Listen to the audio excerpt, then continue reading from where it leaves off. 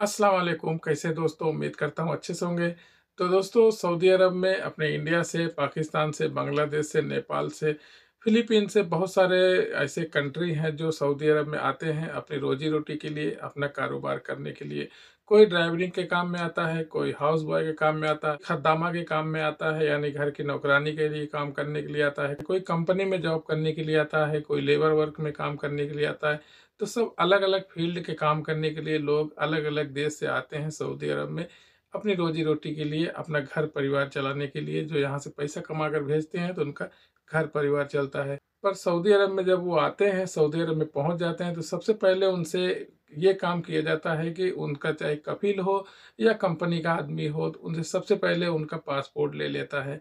Passport जब्त कर लेता है। हालाँकि ये गैर कानूनी है और ऐसे पासपोर्ट नहीं रख सकते हैं। कोई भी काम करने वाला अगर सऊदी अरब में आ रहा है तो उसका पासपोर्ट आप कोई भी कफील नहीं रख सकता। पहले था कि कफील लोग पासपोर्ट रख लेते थे और नहीं देते थे। हालाँकि ये बेवकूफ़ी है कि पासपोर्ट रख लिया जाता है, जब्त कर लिया जाता है। क्योंकि नया बंदा रहता है, जो पासपोर्ट रख लोगे आप तो वो क्या कर पाएगा? और पासपोर्ट लिए भी रहेगा तो वो क्या कर सकता है? आप तो आ गया है आपके पास। जब तक आप जो है उसको एग्जिट नहीं लगाओगे, तब तक वो तो सऊदी अरब से बाहर जा भी नहीं सकता है।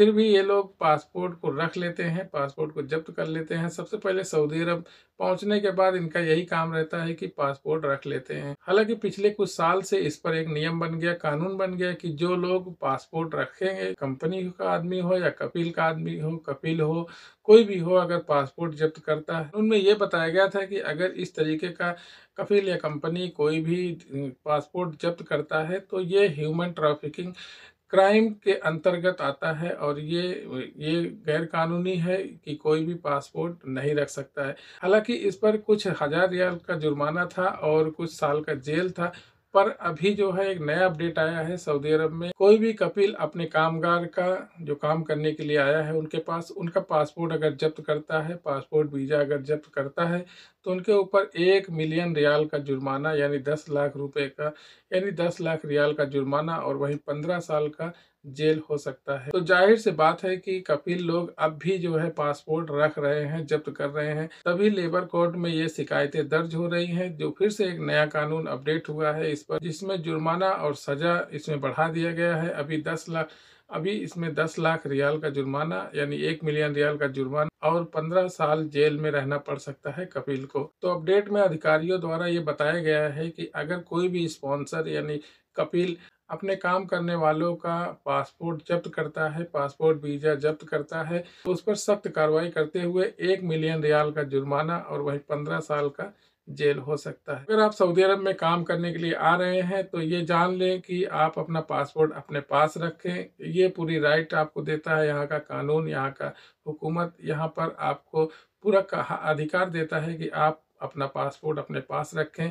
आप बिल्कुल भी कपिल के हाथ में ना दें। और दूसरी अपडेट है जो यहाँ पर सऊदी अरब में बुज़ुर्ग लोग रहते हैं, उनके साथ बहुत सारे लोग बदसलूकी करते हैं, बदतमीजी करते हैं। तो उनके लिए ये अपडेट जारी किया गया है। अधिकारियों द्वारा बताया गया है कि अगर किसी भी बुज़ुर्ग को बदतमीजी से पेश आया गया या उनके साथ बदसलूकी किया गया तो उनके साथ सख्त कार्रवाई करते हुए एक साल की सजा और पचास हज़ार रियाल का जुर्माना लगाया जाएगा। तो बहुत सारे ऐसे इंडियन भाई हैं जो आते हैं नए नए और उनकी आदत बनी रहती है, जैसे अपने इंडिया में किसी भी बुज़ुर्ग को छेड़ते हैं या उन्हें परेशान करते हैं और उनका आदत यहाँ पर भी बना रहता है, वो माहौल को समझ नहीं पाते हैं।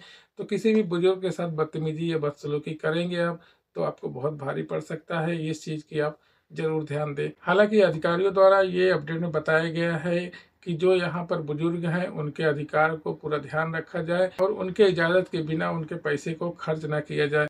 तो ज़ाहिर सी बात है कि जो सऊदी अरब में लोग रह रहे हैं, उनके लिए ये कानून बनाया गया है, पर इसमें अजनबी भी चपेट में आ सकते हैं, क्योंकि बैंक में जाना पड़ता है और सुपरमार्केट में जाना पड़ता है या कोई रास्ते में कोई बुज़ुर्ग मिल गया तो उनसे जो है बदतमीजी अगर आप करते हैं और बुज़ुर्ग ने कंप्लेन कर दिया तो इसके ऊपर आपको भारी जुर्माना पड़ सकता है और जेल में भी जा सकते हैं।